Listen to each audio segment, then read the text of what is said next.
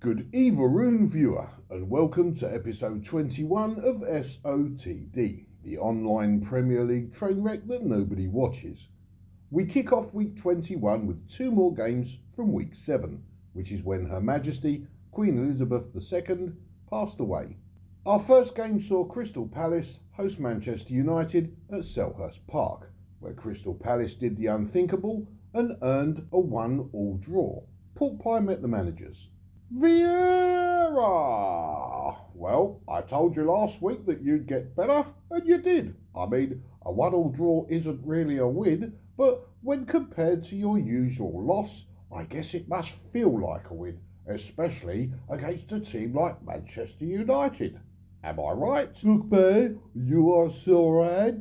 It's an amazing feeling. It's just like a win. We play Newcastle at the weekend. Do you think we can uh, keep going and maybe get all three points? well, there's no need to be a dick about it. Six hog. 1 0, and you fucked it up. Did you not fancy going above Man City? Scared of heights? Fearful of getting a nosebleed, maybe? Oh, this is not good, and we are not loving these things. An absolute wonder goal from Olise in extra time. I'm in two minds here. About what? Well, uh, do I sign Olise for his talents, or, or do I tell my players to score more than one fucking goal in 90 minutes? Gary! Our second game from week seven saw the mightless Spurs travel to the Etihad in an attempt to play Manchester City at home, where all kinds of mad for it crap happened. Pork Pie met the managers.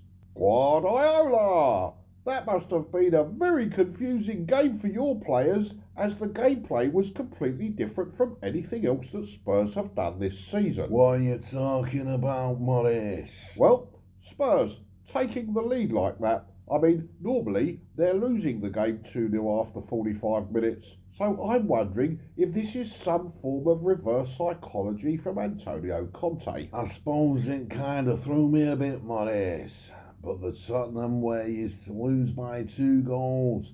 So I told the boys to get out there and score four goals in second half, like. Right.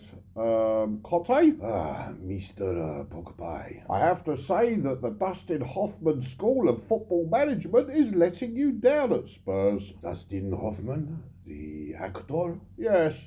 During the film Rain Man, where he's standing at the wheel of fortune saying, It's 20, definitely 20. I, uh, uh, do not follow. Well, you're tactically setting up for your team to play for the number 20, as that's what you've done throughout your managerial career. Unfortunately for you, Spurs do not have the players to hit 20, and the Wheel of Fortune gives you a 5 or 19 or 73. I mean, it could give you every number except for 20, yet you still set up and play in exactly the same way, which begs the question which game in the second half of this season is going to be your trigger game? Uh, you mean uh, trigger from uh, Only Fools and Horses? No, I mean which game is going to trigger you into losing it mode where you repeatedly punch the side of your head while you scream, It's bad! It's bad! Hot water burn, baby! You are not funny. And you would know,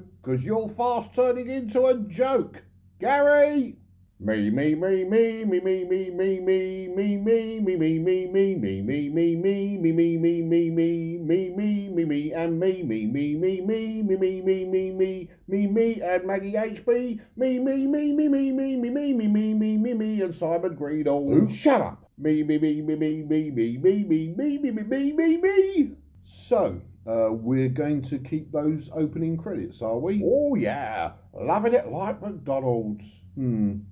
Well, piss off to your post then, and someone hit me up with my studio.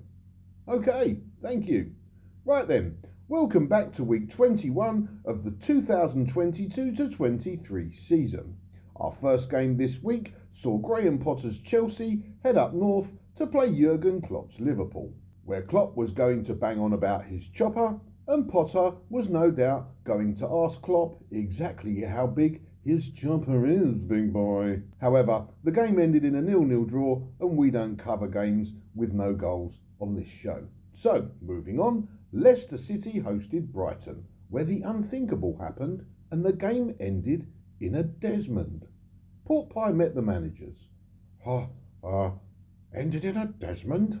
What the fuck is a Desmond? Oh, choo choo. Ha ha Right, gotcha. Okay then. Uh, Brenda, what's all this bollocks I'm hearing about your boys actually playing football and scoring goals? Well, dearie, despite trying my hardest, I didn't think the board is going to sack me, which means my 20 million pound payout isn't on the cards. So I might as well go for it and try for a payout next season. Anybody got a number for Lorraine Kelly? Maybe she'd be up for doing Brenda's voice. Okay, uh, Zebedee, the art department is working flat out on your image, so we should have you normalised in a week or two. Um, good game, great goals. Uh, unfortunately for you, Brenda's turned a corner, and although one point isn't as good as three points, it's still better than no points. Yeah, well, onwards and upwards. Gary! Southampton hosted Aston Villa and lost the game 1 0, which meant Unai Emery travelled home with all three points. Pork Pie met the managers. Uh, Nathan Jones, uh, not too sure what to do about you. What do you mean, boy? Well, you're a nice enough fella, and we have sent out feelers to United agents for Rob Brydon, as well as Sue Terry Voices for Rhod Gilbert. Uh, but let's be honest about it. You inherited a club in bad form, you're propping up the league, uh, and you may not be here next month, as I can hear big fat Sam Allardyce rubbing his belly as his bank manager whistles Dixie. Can you hear it too? Isn't it? Unai Emery, one more game and three more points. You must be loving it. Yeah, well, there, Paul Pie? Aye, well, uh, all wins are good wins, but, uh, but I've got to be uh, modest here and don't blow smoke up my own bottom, right? Because let's face it, busy Southampton Road there is easier done than said. So if I gloat about it, I could be seen as a bit of a bully. It's not me, really, is it? Humility, Mr. Emery. It's refreshing to see a humble manager in the modern game. Yeah, well, I've been to the top and I've also been to the bottom, so I know what is like about things. Gary! West Ham hosted Everton, and the inevitable is called the inevitable because it's going to happen and there's no getting away from it. Pork Pie met the managers. Boys, you beat Everton 2 0. What do you have to say for yourself? Hey, we're back, big man. Did you see your performance today? Socked it to 'em. The Hammers did some hammering for sure. Oh, get over yourself, man. You beat Everton. Everyone beats Everton. You're one point above the drop zone, one game away from Southampton, and our next game is Newcastle United. This is a dreadful season and a woeful performance. Lamb poo poo. Oh, all right, Paul Boy. Do you remember when you did that interview with Gary Neville at the bar and the topic of conversation landed on Tottenham Hotspur and you gloated, saying that you called them Three Point Lane? Uh, yeah, I, I do. Good, because I've spoken with the other 19 Premier League managers about Everton and they all say the same thing. Yeah?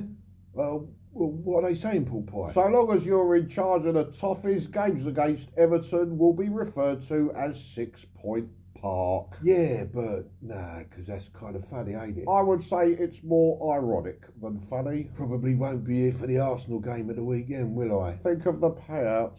Gary! Bournemouth hosted Nottingham Forest and the game ended in a one-all draw. Pork Pie met the managers. O'Neil, you look like Jason Statham. Do you think so? Well, I mean, Statham is good looking, uh, chiseled jawline, rugged, uh, decent pair of eyebrows, and uh, virtually bald. Um, so, no, you look nothing like Jason Statham. Uh, good game and uh, well earned point. Uh, moving on, Cooper. You scored a goal and earned a point. I mean, you're not exactly safe just yet, but you're moving in the right direction. Uh, would you like to come and manage West Ham? Uh-huh. Uh-huh. no, thank you. Gary! Okay, Crystal Palace hosted Newcastle, but the game ended in a nil-nil draw, which we don't cover. So, moving on, our next game saw Manchester City host Wolves where Pep Guardiola unchained his freak of nature mutant goal machine, who not surprisingly bagged a hat trick. Pork Pie met the managers. Pep, yeah, you again. Uh, so Haaland United was let loose on the pitch, and you grabbed another three points. Have you got anything special planned for the summer after you win this year's title? I'm gonna go on Amazon and buy some ambrosia custard for Mikel Arteta. Why? Cause it goes real good with crumble. Hell will freeze over before Noel Gallagher steps in to do your voice, so go back to being Manuel from Fawlty Towers. Gary! Okay, Leeds hosted Brentford, and we had our third nil-nil draw for this week, which means there's a third boring game that we don't have to talk about. The penultimate game for this week saw Mikel Arteta's Arsenal host Erik Ten Hag's Manchester United. At the Empty Crate Stadium, Arsenal won the game 3-2. Pork Pie met the managers. Arteta!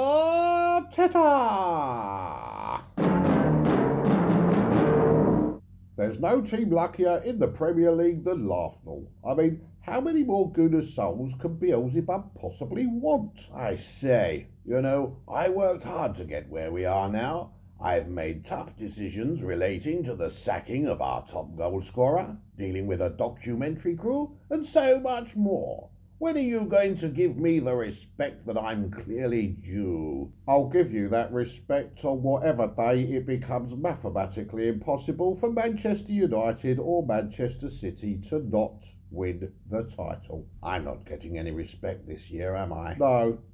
Moving on. Eric 7.21 Haag. What happened? I mean, you folded against Palace, forgot to take your boy off at 70 minutes, which meant he got carded and couldn't play today. Then fought tooth and nail today, only for yet another killer blow in the dying embers of the game. Don't you want to go second in the league? I do my best, but it's not easy. Uh, United are a big club. Uh, Ronaldo was a big player. Uh, I've done what needed to be done, and uh, and uh, the boat is now stable. so we sail forwards. Well, the boat is stable until it sinks in the harbour before docking, but that's none of my business. Gary! Our final game of the week saw the mighty Spurs and their mightily confused manager travel across London to Fulham where Marco Silva was waiting to say hello with his little friend. Pork Pie met the managers. Oh, Marco! Hello, man. Cheer up, mate. It's only one game, and things could always be a lot worse, couldn't they? What do you mean, man? You could still be at Everton. Moving on, Conte! Ah, pork pie. So you want to help Harry Kane win a trophy at Tottenham, do you? Uh, this is what I am saying. Yes. Well, then sign a new contract, commit to the club, and change your formation to fit the opponents you're playing on the day, then. Aye, for fun. Gary! Right then, with week 21 drawing to a close, I'll see you next week. Goodbye. Hello, darkness, my old friend. I've come to talk to you again. Fingy, fingy, fingy, la, la, la. Lampard, what the fuck are you doing? Been sacked, ain't I? Really? Seriously? You mean it's actually finally happened? All right, my sons. Get the fuck in! Well, leave it out. So what were you doing standing there singing an old Simon and Garfunkel song for? Well, I was waiting for the minions to turn up and take me away, innit? ah, you sorry bastard. You can't even get the song right, can you? What? It's not Simon and Garfunkel singing The Sound of Silence. It's the Righteous Brothers singing Unchained Melody, as taken from the Patrick Swayze film Ghost. So, are you going to sing it to me while the minions come and take me away to Football Heaven, Paul Pie? Are you fucking mad, fam? You ain't getting shit, blood. Look at ya. You're not coloured in, and that's happened for a reason. I'm not wasting money on colouring you in, because you were never going to last as a Premier League manager. Point proved, case rested, jog on you ham roll. Right then, I feel good. See you all next week. ta Hey, oh man, uh, where the fuck did everyone go, bro? I mean, okay, so we lost to Man City, but that's no reason to treat me this way.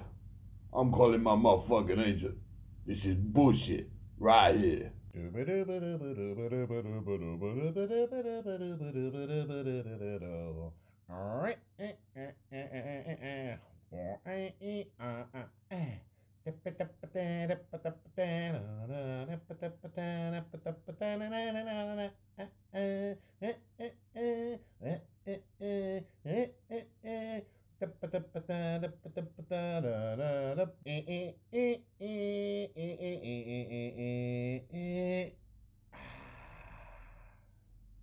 Harry Maguire!